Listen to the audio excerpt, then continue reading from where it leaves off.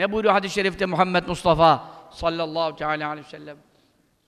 Men a'ta lillah ve men lillah ve ahabbe lillah ve ebgada lillah ve enkeha lillah fakat istekmelel iman. Verdiğini Allah için veren. Vermediği zaman Allah için vermeyen. İçkiye para vermez, kumara para vermez, zinaya para vermez, harama para harcamaz. Niçin? Allah için vermiyor. Verdiği yere Allah için veriyor. Hanımına, çoluğuna, çocuğuna niçin? Onları bakmakla görevlidir. Hayra veriyor. Sevdiğini Allah için seviyor. Ama Allah için sevilecek adamı seveceksin. Futbolcuyu Allah için sevilebilir mi? Bizim takıma iki gol attı, bunu Allah için çok seviyorum. Ya Allah için ne alakası var futbolla? Veya adam ne şarkı söylüyor be Allah için seviyorum bu adam. Ne Allah için? Şeytan için seviyorsun. Nefsin için seviyorsun. Allah için kimi seversin? Alimleri, velileri, salihleri, zahitleri, peygamberleri, Muhammed Mustafa sallallahu aleyhi ve sellemi, ehli beyti, sahabeyi. Allah için. Severse kızdığına için kızacak? Allah için kızacak. Bu, burası da çok önemli. Şahsına kızmayacak ama yaptığı günahlar, kötülükler, İslam'a zararlar varsa Allah için buğz edecek. Bir de evlendirdiği zaman Allah için evlendirirse. Şimdi Allah için evlendirmek diye bir şey kaldı mı? He? Ne için evleniyor? Güzelliği için, parası için, zenginliği için, arabası için, memurluğu için, bürokrat olduğu için falan falan. Allah için evlendirirse Şah Nakşibend Hazretleri gibi hanımına dedi kızım buluğa erdiği zaman bana haber ver. Hemen haber verdi buluğa erir ermez doğru gitti Bukhara medresesine. Aradı aradı kimi buldu? Alaaddin Attar Hazretlerini buldu. Alaaddin Attar Hazretleri de talebe. Babası çok zengin idi. Babasından ayrıldı, ilme çalıştı. Babasından çok miras kaldı. Miras da belki şüphelidir diye almadı. Medresede oturdu. Bir tane postu var. Bir ibriği var. Abdest için.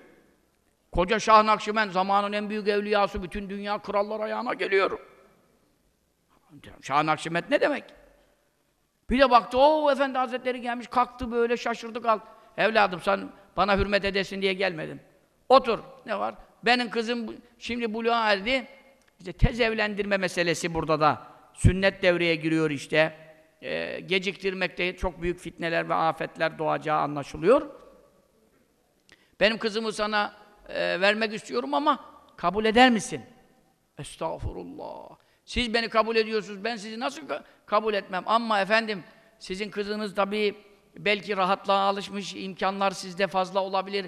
Benim bir postum var, bir ibriğim var. Çok rezil olabilirim, mahcup kalabilirim. Sus öyle şey konuşma. Rızık işinden konuşma dedi. Rızkı Allah kefildir. Ben sizin ne yiyeceğinizi mi soruyorum? Sen kabul ediyor musun?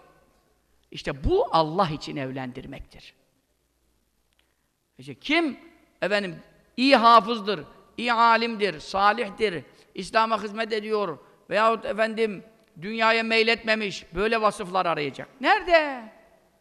Kim Allah için verir, Allah için engeller, Allah için sever, Allah için kızar, Allah için evlendirirse fakat istekmeleli iman. Bu kişi imanını kemale erdirmiştir.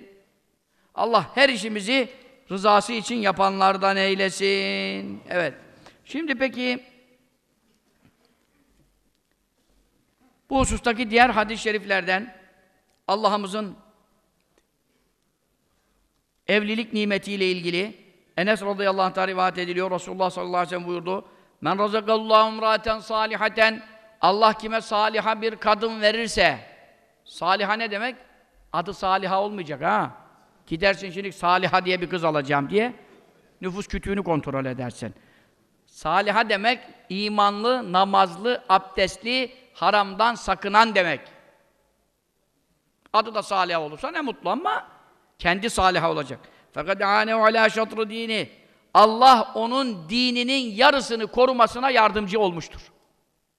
O adamın dininin yarısı Allah'ın korumasına gir. Fellettekillâhe fişşatril baki. Geri kalan yarısında da Allah'tan sakınsın. Artık yine adam evlense de nefis yine zina ister mi? İster. Bazı bekarlar daha sabır, sabırlı olur, evliler daha kuduruklu olur. Böyle de bir bela var. Onun için yarısını diyor Allah koruyor, yarısında da senden takva istiyor. Haramlardan sakınacaksın. Haramdan sakınmazsan bu iş korunmaz. Efendim, kadınlarla niye oturuyorsun? Bir odada kadınlarla niye oturuyorsun? Yab- Yabancı kadınlarla, nikah düşen kadınlarla niye oturuyorsun? Baldızınla bile oturamazsın. Baldızınla bir odada niye oturuyorsun? Bir sofrada niye yemek yiyorsun? Kürek gibi ellerinizi uzatıyorsunuz, birbirine niye tokalaşıyorsun? Sen İslam'ı muhafaza etmezsen Allah da seni muhafaza etmez. Şeriatı korursak Allah da bizi korur. Bu nikah bizi muhafaza eder. İnşallahurrahman haramlardan.